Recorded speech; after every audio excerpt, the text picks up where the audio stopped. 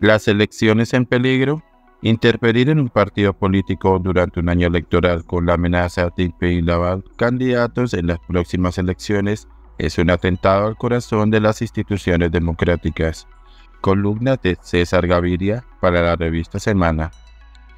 Hace muchas décadas no se escribía en esta revista una columna para denunciar una amenaza tan grave a las instituciones democráticas, en especial a la imparcialidad de las elecciones.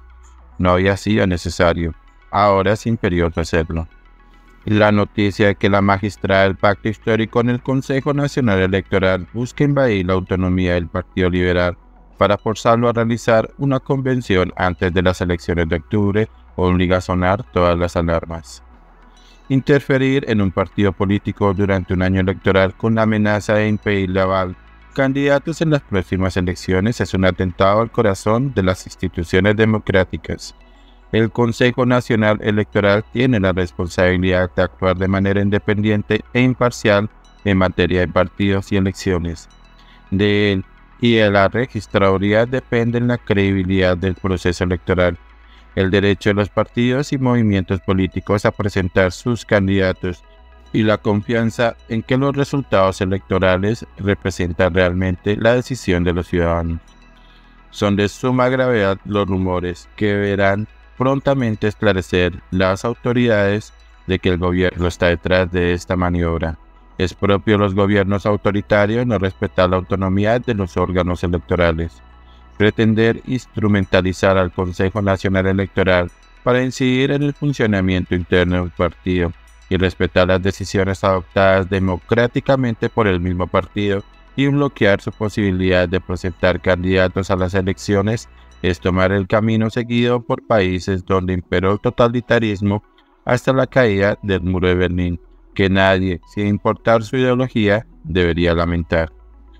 Por fortuna la Constitución no ha abandonado este tema al juego político. Al contrario, el Consejo Nacional Electoral es un órgano que goza de autonomía protegida expresamente por la Constitución. El Ejecutivo, incluido el Ministro de Interior, está obligado a respetar ese principio constitucional, así como las leyes que lo desarrollan pretenden instrumentalizar al Consejo Nacional Electoral a través de una magistrada afiliada al partido de gobierno para bloquear a otro partido político las elecciones es una violación fragante de la separación de poderes y un atropello de la autonomía de la organización electoral. Si el Consejo Nacional Electoral cede a las presiones del Ejecutivo, se estará causando un daño irreparable habrá puesto en entredicho su independencia e imparcialidad precisamente en un año electoral. Habrá destruido la confianza que le permite ejercer sus funciones a pocos meses de las elecciones más complejas con el mayor número de candidatos. Además de la autonomía del Consejo Nacional Electoral, está en juego la autonomía de los partidos y movimientos políticos. Como director del Partido Liberal, defendí en un documento este principio de cuyo respeto dependen el pluralismo y los derechos políticos de todos los colombianos.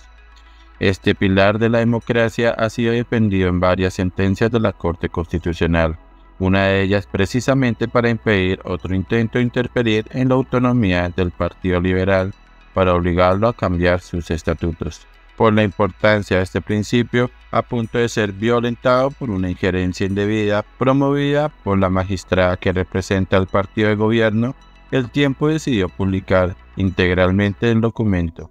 Al ser una garantía constitucional protegida en varias sentencias de la Corte Constitucional, esta solo puede ser restringida con una reforma constitucional.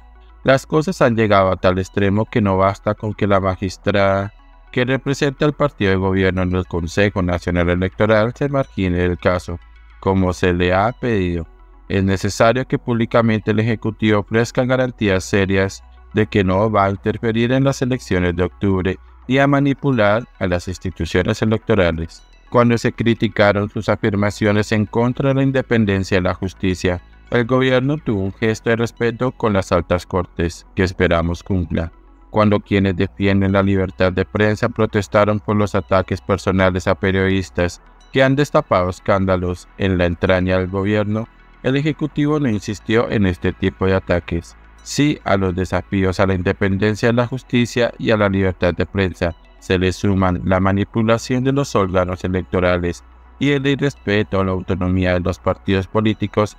El balance conduce inexorablemente a la conclusión de que el Ejecutivo en Colombia está siguiendo la partitura de los gobiernos populistas y autoritarios en otras latitudes, pero se estrellará ante la fortaleza de las instituciones. En Colombia, por décadas, la justicia ha demostrado su independencia y los periodistas no se han dejado intimidar. El Partido Liberal ha acudido a todos los medios institucionales para proteger su autonomía. La gran pregunta es si el Consejo Nacional Electoral entiende su responsabilidad democrática en la coyuntura que vive el país y hace valer su integridad. Esperemos que así sea. De lo contrario, se habrá materializado el desconocimiento olímpico de preservar las garantías electorales esenciales para la estabilidad democrática.